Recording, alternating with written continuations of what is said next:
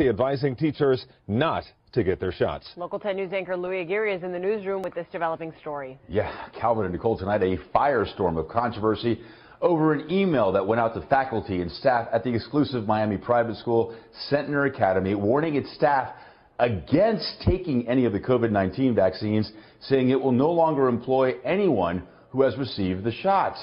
Centner Academy has campuses in the Design District and Edgewater.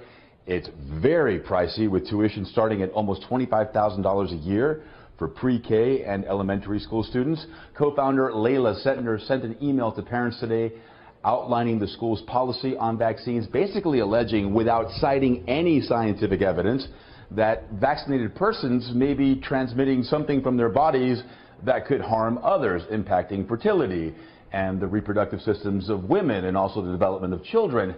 Centner basically put school staff on notice Thursday with this email saying, quote, if you want to get the vaccine, please wait until the school year ends and you will not be able to return to school until clinical trials are complete if a position is still available at that time. If you want to get the vaccine before school year ends, please let us know right away, as we cannot allow recently vaccinated people to be near our students until more information is known. If you have taken the vaccine prior to April 21st, 2021, please report that to us and maintain physical distance from the students.